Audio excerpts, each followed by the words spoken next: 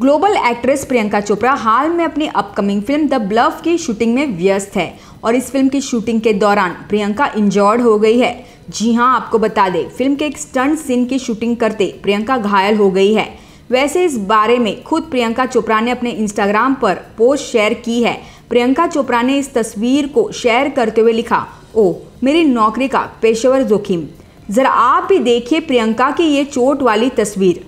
तस्वीर में प्रियंका चोपड़ा के गर्दन पर कट का निशान नज़र आ रहा है। लगता है कि चोट गहरी है। फैंस भी प्रियंका चोपड़ा की चोट देखकर निराश हो गए हैं। वही प्रियंका चोपड़ा के वर्क फ्रंट की बात करें तो प्रियंका चोपड़ा इन दिनों अपनी फ़िल्म द ब्लफ की शूटिंग में बिज़ी है। थोड़े दिन पहले ही प्रियंका चोपड़ा ने इस फ़िल्म का अनाउंसमेंट किया था। वही प्रियंका को इस फ़िल्म के पहले उनकी फ़िल्म लव अगेन में देखा गया था। इसके अलावा Priyanka Chopra Amazon Prime Video के शो सीटाडल में भी नज़र आई थी। वैसे हम भी यही दुआ करेंगे कि प्रियंका की ये चोट जल्द ठीक हो जाए। मुंबई से विदिता प्रताप, नेशन नाव